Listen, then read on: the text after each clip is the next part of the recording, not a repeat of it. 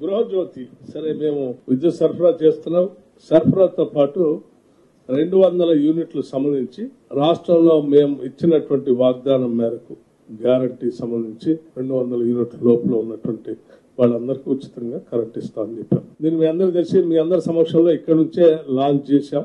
ఈరోజు రాష్ట్ర వ్యాప్తంగా పెద్ద ఎత్తున ప్రజలంతా కూడా దీన్ని అద్భుతంగా వాడుకుంటున్నారు. కొద్దిమంది అక్కడక్కడ ప్రచారం చేస్తా ఉన్నారు. ఏమని? అందరికి రావట్లేదు. కొద్దిమందికే వస్తా ఉంది. కొద్దిమంది బిల్లులు వస్తా ఉన్నాయి. కొద్దిమంది రావట్లేదు. మీరు అందరికి ఇవ్వట్లేదు. రెండు వందల యూనిట్ల వరకు ఇస్తా అన్నారు కదా. మీరు అందరికి ఇవ్వాల్సిందే. ఇచ్చి చూపించండి. నేను వాళ్ళందరికీ ఒకటే సమాధానం చెప్తా ఉన్నాను. చాలా స్పష్టంగా ఆ రోజు లాంచ్ చేసే రోజు చెప్పాను. మళ్ళీ ఒకసారి చెప్తా ఉన్నాను.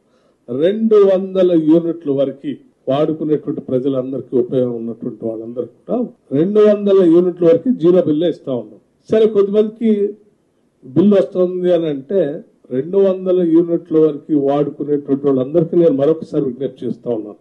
మీరు ఉచిత కరెంటు కావాలని చెప్పి మేము అనౌన్స్ చేసినటువంటి గ్యారంటీ సంబంధించిన అంశాన్ని ప్రజాపాలనలో మీరు ఇచ్చినటువంటి అప్లికేషన్లో మీరు పొందుపరిచినటువంటి సమాచారంలో ఎవరిదైనా రేషన్ కార్డు సంబంధించిన సమాచారం అయినా తప్పు ఉండాలి. లేకపోతే సర్వీస్ కనెక్షన్ సంబంధించినటువంటి నెంబర్ అయినా తప్పు అయి ఉండాలి. ఈ రెండు మీరు పెట్టినటువంటి అప్లికేషన్లో సక్రమంగా ఉన్నటువంటి వాళ్ళందరికీ యాజ్గా లిస్ట్లో ఎంటర్ అయిపోయారు. వాళ్ళకి జీరో బిల్లు వస్తా ఉంది. సరే మీరు ఈ పొరపాటును ఎంటర్ చేసి ఉం- ఉండి ఉంటే కూడా మీకు రెండు వందల యూనిట్ల లోపల ఉండి ఉంటే బిల్లు వస్తూ ఉంటే కూడా నేను స్పష్టంగా చెప్తున్నా మీరు కూడా బిల్లు కట్టాల్సినటువంటి అవసరం లేదు.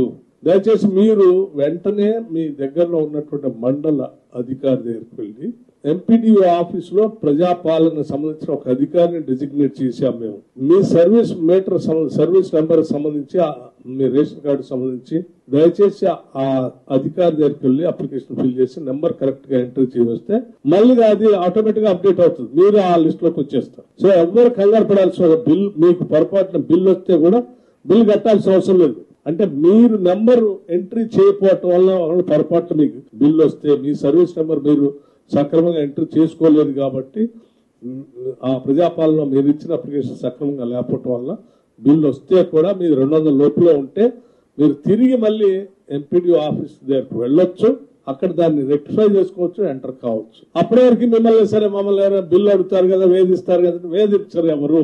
రెండు వందల లోపల మీ బిల్లు ఉంటే మిమ్మల్ని ఎవరు బిల్లు అడగరు. క్లియర్ అలా అని చెప్పి మీరు అట్లా బిల్ పెట్టుకుని ఉండవాలండి దయచేసి ఆ- సెంటర్కి వెళ్ళండి. దాన్ని ఎంట్రీ చేయించుకోండి. ఆటోమేటిక్గా ఆ లిస్ట్లో ఎంటర్ అవుతారు. ఇది అప్పీలింగ్ రెండు వందల యూనిట్ లోపల ఉన్నటువంటి వాళ్ళందరికీ అప్పీల్ చేస్తా ఉన్నాను. మిమ్మల్ని ఎవరు ఏ అధి ఏ కరెంటు సంబంధించిన అధికారి వచ్చి మిమ్మల్ని బిల్ అడగడం. కానీ మీకు వచ్చిన బిల్లు ఎంపీడీ ఆఫీస్ దగ్గరికి వెళ్ళి మీరు ఎంట్రీ చేయించుకోండి దయచేసి. డిప్యూటీ సీఎం గారు ఇప్పుడు రెండు వందల యూనిట్ లోపు తెలంగాణ రేషన్ కార్డు ఉన్న అర్హులందరికీ ఫ్రీగా ఇస్తామంటున్నారు.